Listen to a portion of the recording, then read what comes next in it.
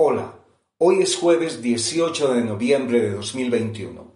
Esta es una edición especial para el Santuario de Nuestra Señora del Rosario de Chiquinquirá, el Santuario Mariano Nacional de Colombia. Estos son nuestros cinco minutos de gracia.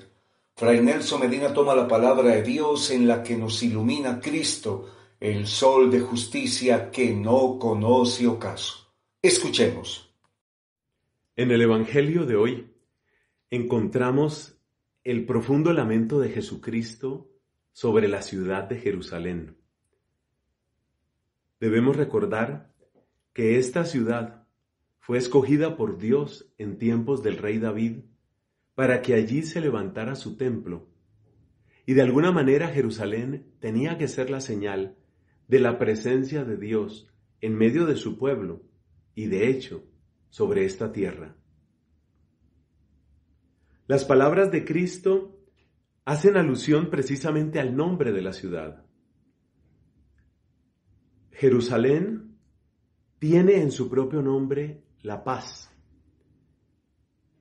Una de las interpretaciones es que significa visión de paz. En hebreo y en arameo la palabra paz se dice shalom. Yerushalom, la visión de paz. Pero resulta que la ciudad que se llama visión de paz no vio lo que conducía a la paz. Ese es el lamento de Cristo.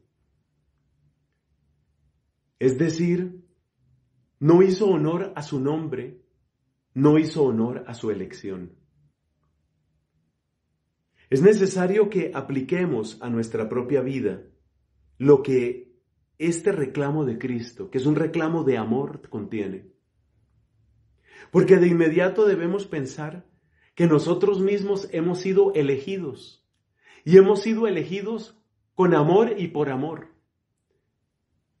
Y Dios quiere reinar sobre nosotros, que es la única manera, oígase bien, la única manera de tener la auténtica y permanente paz interior está en el reinado de Cristo.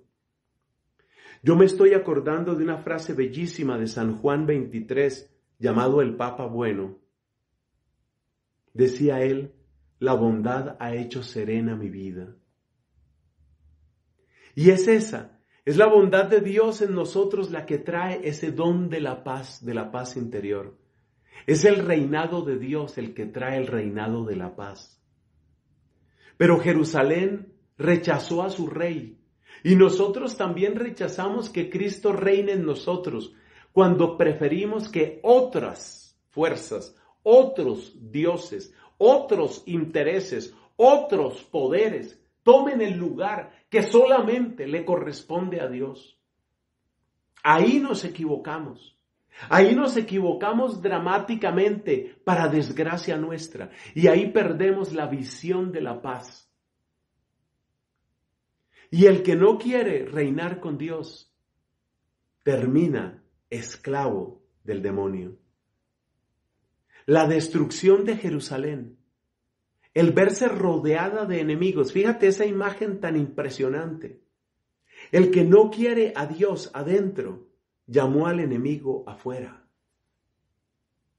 Jerusalén, que rechazó la visita de Dios, se verá rodeada de los enemigos, enemigos de Dios y enemigos de la ciudad de Dios. No se puede rechazar a Dios impunemente. No se puede darle la espalda a Dios sin ponerse en camino hacia la casa de Satanás. No se puede decirle no a Dios sin decirle sí al enemigo de Dios. Y por eso hoy tenemos que tomar una actitud, yo el primero, una actitud humilde y arrepentida, porque no hemos sido fieles al Señor. Porque no hemos entendido que en su reinado está nuestra paz, que en su reinado está nuestra victoria, que en su reinado está la verdadera luz, está nuestra verdadera fuerza.